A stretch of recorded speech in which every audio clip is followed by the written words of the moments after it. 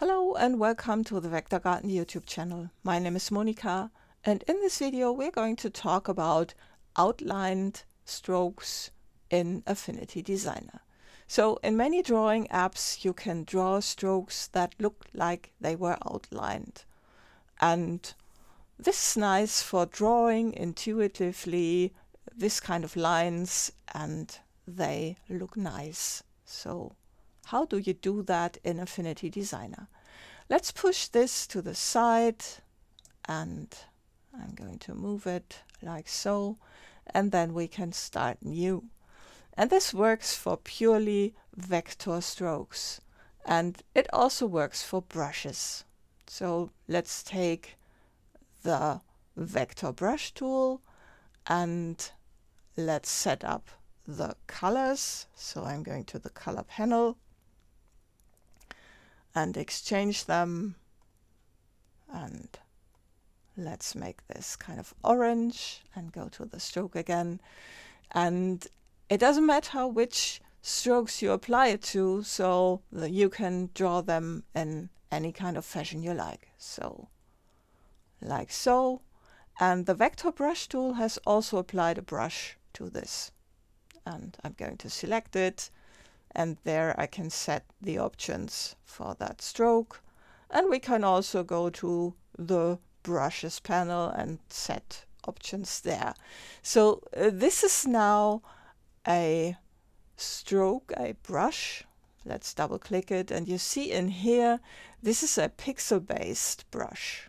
So when I draw with that in an exported PDF for printing, there will be pixels and let's take this one which is vector based you see there's nothing in here so this is vector based and I'm going in here.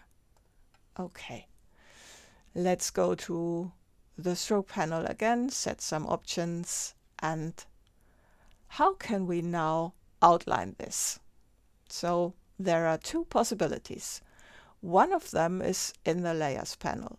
So we've got the layers and this curve is already selected and you can go to the effects and in the effects you have the option to outline this. It's already highlighted here and we can turn this on and then we can set a radius like so and you see you get this outline for it. And you can also set the alignment. It's now set to the outside so it won't run into the stroke like so. Now this is nice and simple. You can create a style from it to apply it later. And it has one downside because when you export a PDF from this, everything gets rasterized, including the vector brush. So this is not so nice. But it also has its nice ah its nice part about it because you can also apply this to a layer. Now let's create a new layer and on this layer I'm going to draw some paths like so and they are now on this layer and let's go to the stroke options. They can have a different thickness. Like so.